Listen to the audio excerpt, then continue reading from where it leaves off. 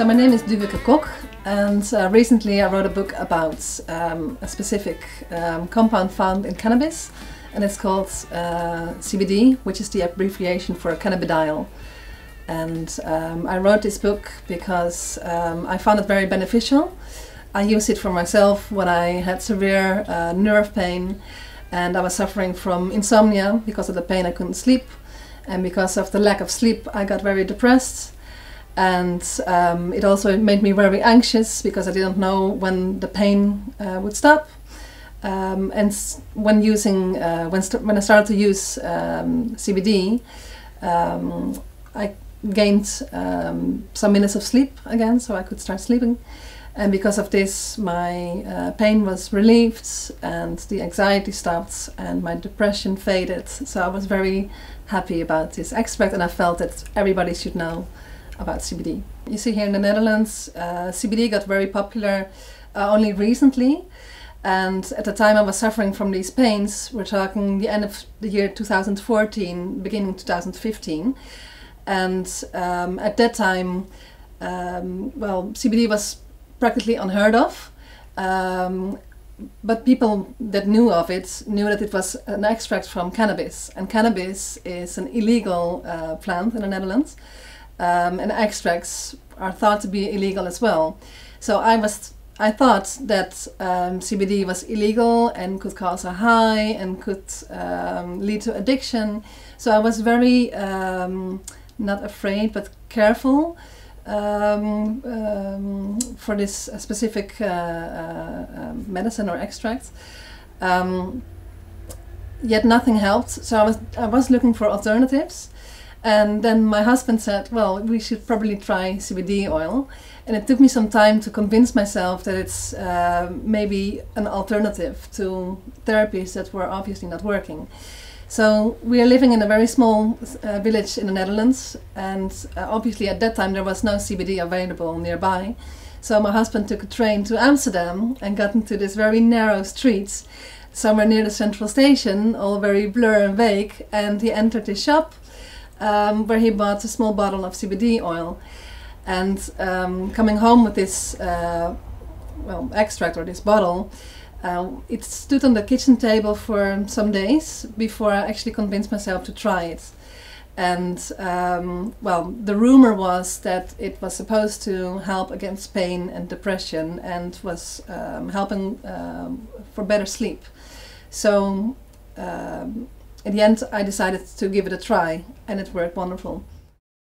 We actually are still um, uh, holding on to a very old law that says that we are allowed to have coffee shops that um, provides uh, recreational um, uh, cannabis, so the marijuana.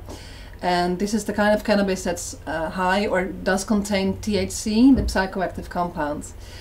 Um, CBD is relatively new, um, and uh, well, the government obviously doesn't know very well yet where to place it. So for the moment, um, it can be sold as a food supplement. Um, if only um, uh, products that contain CBD, they cannot contain THC. So this is where the government draws uh, the line right? So you have the coffee shops on one hand that provides uh, cannabis containing THC, and then you have the drugstores and other stores, uh, web shops, or uh, groceries that provide um, food supplements containing CBD and other cannabinoids, but not the THC, not the psychoactive compounds. And then um, apart from that, we have a medicinal cannabis uh, program since uh, 2003 um, so in this, uh, the government is providing medicinal um, uh, grown uh, cannabis to patients. So if a patient um, is suffering from a certain kind of illness, uh, he or she can then go to a doctor, which can then uh, prescribe a recipe, uh, and with this um, go to the pharmacist, and the pharmacist will then um, supply the medicinal cannabis. We have a 0.2 percent in um, hemp, so in the industrial hemp, and that's based on uh, well guidelines from the European uh, uh, European Commission. Um, so this is the, the 0.2% THC is based upon the guidelines from provided by the Europe, uh, European Commission. Um, in the food supplements, there's actually um, recently been decided that it can only contain 0.05% THC, so even less than a 0.2% THC in the industrial hemp. In the food supplements, there should only be 0.05% THC if measured. On the product itself, uh, it's not allowed anymore to uh, mention even or write down the, the, the word THC.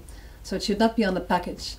And it's, um, well, uh, about percentages, if you can compare it to uh, medicinal uh, cannabis, um, well, these are uh, different kind of varieties that start maybe at 5% THC. In the coffee shops, you will find between 5 or 15% THC. So, compared to this amount, the 0.2 or 0.05 even is, is really very, very low. So, they're very, very, very uh, precautious on not having these psychoactive compounds. The same type of bottle, uh, but obviously a different, different brand, different type of extraction. But these bottles, I think this is the most commonly used uh, type of, um, this is the most common way that people in the Netherlands use uh, CBD. So uh, as an extract and then sub, um, sublingually, so underneath uh, the tongue. Um, it's an easy way to use it. Um, it goes into the body, into the bloodstream quite easily. Um, and also quite fast. So compared to other um, type of products, for example, uh, capsules or pills, they go through the digestive system, and um, so uh, CBD is um, the liver breaks down certain enzymes in the liver break down uh, CBD. Um, so a lot of uh, cannabinoids are actually uh, broken down by the liver when uh, digesting it, when um, taking it orally. So with this, uh, I think it's more interesting. Um, on the on the bottle itself, you will find um, uh, well the content, of course. Uh, and in the Netherlands, we use the word percentage, which I don't think it's very common in the States, because in the States I think it's more about milligrams, and I think it also should be about milligrams. Uh, but we express the, the amount of milligrams uh, in uh, in oil, and then you get a certain percentage. So there should be the amount of milligrams uh, of, uh, of CBD should be on the bottle. Um, and then also uh, the amount of milligrams per serving. So um, here you have a content of 10 milliliters, which is approximately 240 drops per bottle. And then you have a certain amount uh, of CBD uh, per drop. So with this you can more or less calculate uh, the amount of milligrams that you intake. And I think the common advice is to uh, start with a low dosage. So I think um, we mostly recommend to start with maybe two times two drops in the morning and then uh, in the evening. And then, um, depending on the illness, you will notice a difference. Um, so you can higher the dose um, as you like.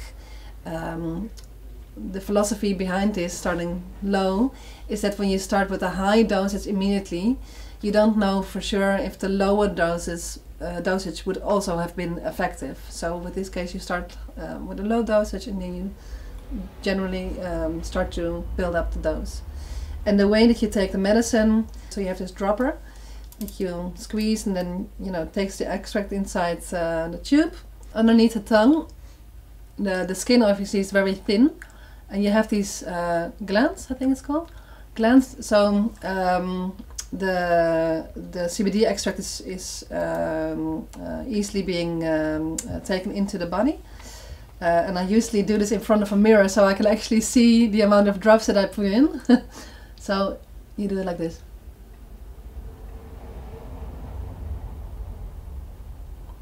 And then you leave um, your dosage in your mouth underneath the tongue for about half a minute, a minute so it can be absorbed. And then um, well you can swallow everything with some nice hemp tea or some water or some juice whatever you uh, you like. There's lots of different kind of uh, products and um, Some of them have a very strong taste.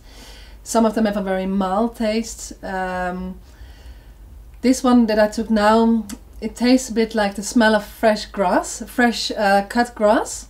When you cut grass, the, the smell that comes from it, well, this is how it tastes. Um, so it has a very fresh, um, almost fruity kind of taste. Um, it has a little bit of bitterness as well. I find it very nice, but it took me some while to get used to it. you will not get high from this. There is no psychoactive compounds in this bottle. And then if people are still not comfortable, then I will try to explain the differences between the type of cannabis or hemp where the extract is made from. So the um, the basic um, uh, the basic material that um, uh, this extract is uh, well that it, has been extracted from, and um, so the industrial hemp or the the fiber hemp is used uh, for making these kind of extracts for food supplements, and they cannot contain more than 0.2 percentage THC. So if something can be found, it's very, very low. And then also we have obviously a legislation saying that there cannot be any THC in food supplements, or at least not higher than 0.05% THC.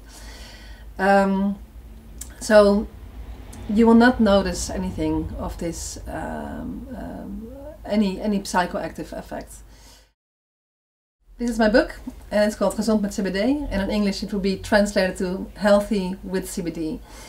Um, and I specifically chose this title because it's healthy with and not necessarily healthy because. So I want to leave some free space for any kind of skeptics. And the subtitle is called En andere cannabinoïden, so and other cannabinoids. Um, when starting to take my medicine, my CBD, I was very much focused on CBD only, and I was a bit, well, not scared, but careful with THC. Um, but during my research, I found that THC, I had some issues with it myself. Um, because of the um, uh, well, because of it's an illegal substance still, and because it has psychoactive um, side effects. And I found out during my research that it's actually very, very interesting uh, cannabinoid as well. Uh, CBD and THC are the most common cannabinoids, but there are over 100 uh, or 110 even uh, different kind of cannabinoids. So, and they all have uh, a lot of interesting uh, health benefits. So this is why it's not, it's mainly focusing on CBD, but other cannabinoids as well. Another uh, main reason for me why to, uh, why I wanted to write this book was because at the time that I wanted to use CBD, there was no information available.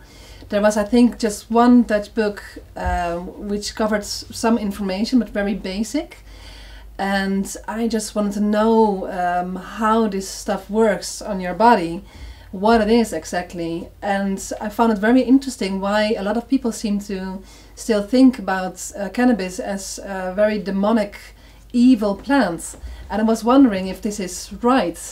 Um, and where this, this stigma comes from. So I found it very interesting to provide the information, um, both regarding legislation and law, uh, about products, about dosage, um, uh, and of course the health benefits, what exactly it does for your body, and what we know now um, uh, from scientific evidence already available um, in, in literature.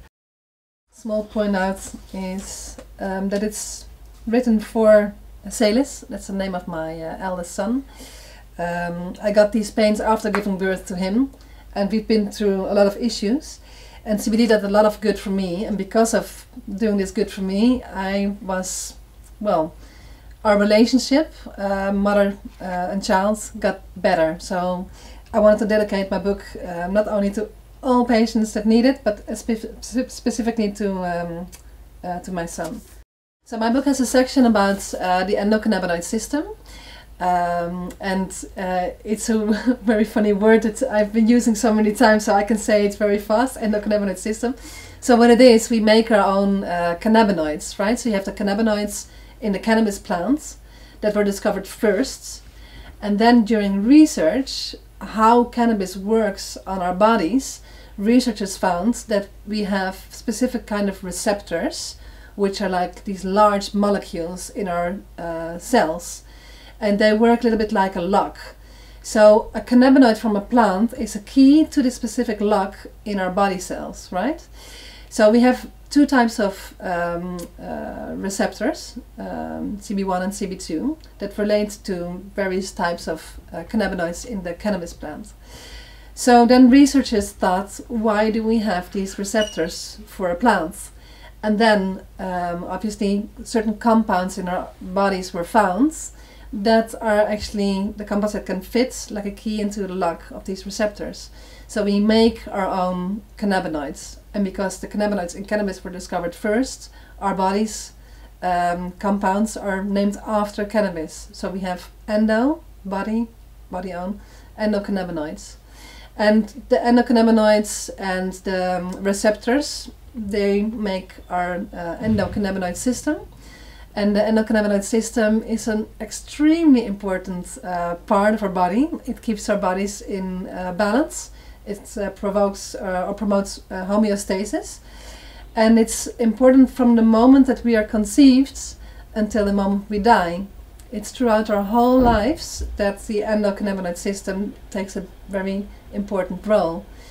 So if you ask me, I would find it very, very interesting if doctors would learn more about the endocannabinoid system, because I think this is a very good base um, for therapy, um, for um, any kind of therapy, um, whether it's alternative or, or uh, medicinal or uh, regular. Uh, once you get to understand the um, uh, the complexity of the endocannabinoid system, this fine balance between um, uh, activating and deactivating, between stimulating and calming. Um, I think this is very, very important for any kind of disease, uh, for any kind of person throughout the whole life. What's the most important message of my book is that we should take a different perspe perspective on cannabis um, as a whole and more closely and more general about what the compounds in cannabis, these cannabinoids, can do for health.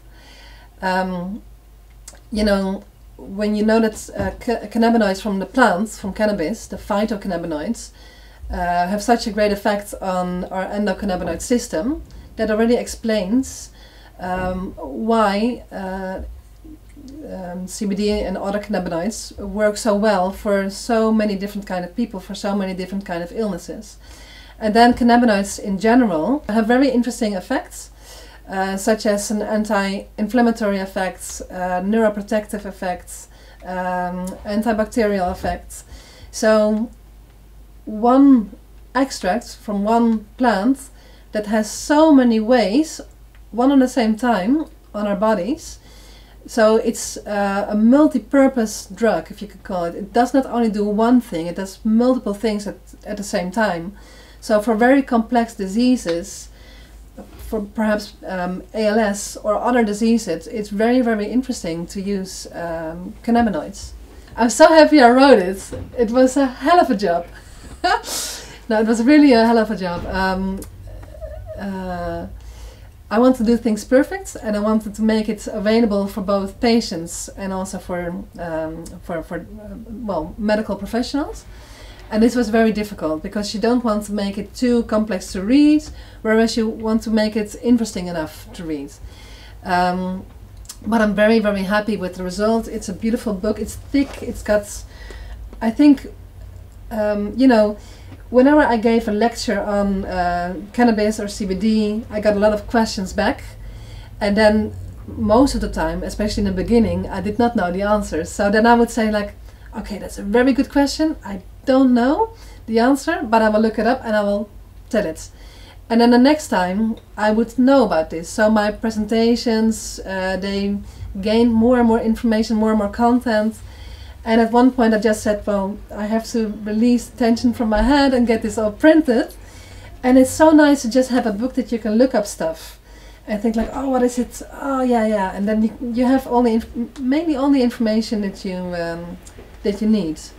Um, and it's a great, great, well, tool.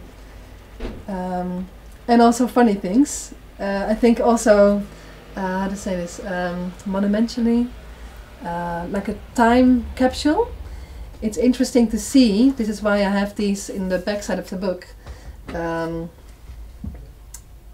prints from newspapers, and of course it's all in Dutch. But there's just so much um, misunderstanding about what is cannabis, what is CBD, what is uh, industrial, recreational, and um, medicinal cannabis. And the weirdest, weirdest things um, pop up in media. Everybody wants to understand, and for I think we're slowly getting there. Now we just have to convince politicians. so we're getting there. But like, um, it goes from uh, cows that take marijuana to uh, a nice dinner between cannabis to um, um, this person is uh, growing uh, fiber hemp, so the legal hemp, but is now uh, being prosecuted for uh, production of drugs. So a lot of weird stuff is going on in the society, and um, I don't know with a book with this content and also the the scientific evidence. I hope to have provided uh, well good base to get some progress going. You know, I'm very hopeful um, about CBD in Holland, but it has nothing to do with the government because I think the government is just tightening down things, making it more complex and making these strict rules and but there's I think in this case I would say power to the people. There's so many people in the Netherlands that benefit from CBD. Um, I don't think there's a way back. If should CBD be banned completely, and um, well, I think there will be a, a riot. People will go to the streets and, and protest. So um, yeah, I'm I'm positive about the future. Um, but there's still a lot of things to be done. And I'm very happy to see, um, you know, small groups of people, communities uh, develop that want to focus on um, either patients and providing good information, um, you know, about CBD, but also, um, you know, compounds like THC. What are the differences? What are the benefits? What should you be aware of? Um, and having it, uh, um, well, more commonly used. There's one thing I'm not that positive about, and in the Netherlands we have like a board, like a medical doctors association, if you can call it like this, and they provide the, uh, information to doctors, and they say like, well, we advise you to say this to your patient, or we advise you to do that, and they actually give a negative advice on uh, medicinal cannabis as a whole, and um, more specific about CBD as a food supplement, so they abstain from it and I don't think this is a good uh, progress. Um, on the other hand, the people that I speak when giving lectures um, or, or, presentations, um, more and more are having a very good conversation with their doctors. And more and more doctors seem to be more open, regardless of what the association is telling. Um, well, doctors are starting to realize okay, so we have this endocannabinoid system, and cannabis is not only bad, it's not only maybe sometimes provoking addiction, uh, maybe we should take a different perspective and then see what's possible.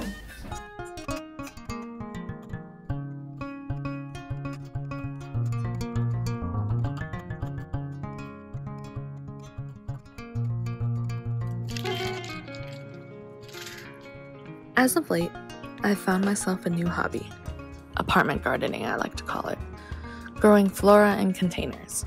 There's just something so relaxing and mentally healing about cultivation and being around such a simple form of life. I have a large variety of fruits, herbs, and vegetables currently growing. Every day, I'm saying the only thing I'm missing is my little marijuana plant. Whether growing plants with less than 0.3% THC for therapeutic purposes, or plants with over 0.3% THC for getting high, this little plant serves as the only home in my garden.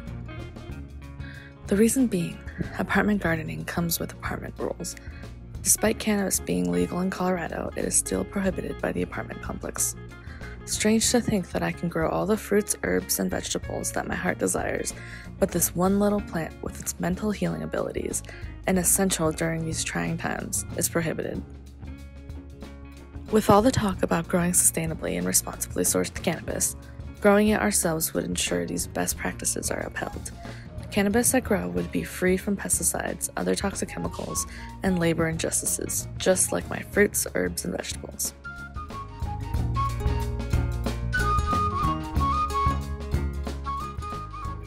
This one little missing marijuana plant that is perhaps a way of easing anxiety and post traumatic stress disorders, as well as relieving the imbalance of our endocannabinoid system as a means of curbing depression, capable of mental healing abilities. This one little missing marijuana plant that is perhaps a way of easing cancer symptoms, nausea, even seizures in the cases of Charlotte Figi, who was diagnosed with Dravet syndrome, and Chaz Moore, who was diagnosed with myoclonus diaphragmatic flutter, capable of physical healing abilities. This one little missing marijuana plant that is perhaps a way of extracting plutonium from the contaminated soils at what is now known as Rocky Flats National Wildlife Refuge, just 16 miles away from Denver. A new purpose that hemp may serve as a way to mitigate radiation, capable of environmental healing abilities. As a geography and environmental science major, I've studied the catastrophe that was the Rocky Flats nuclear power plant to some extent. To think that cannabis would even potentially have such environmental healing abilities to reduce radiation exposure from dirt contaminated by plutonium is so amazing to me. My little garden taught me a lot more about growth than I thought it would. It taught me that heaps of satisfaction can come from growth, that growth is necessary for progress to happen, that simply growing a garden leads to mental healing, that growth in the medical marijuana sector leads to physical healing that growing hemp in contaminated soils may lead to environmental healing. Cannabis conversations must be allowed to bathe in the sun in order for growth to happen, just like with all the fruits, herbs, and vegetables in my little apartment garden. Evidence based education and discussion must be cultivated to foster growth. Keeping cannabis in the dark will never lead to this growth, just a whole lot of growing pains.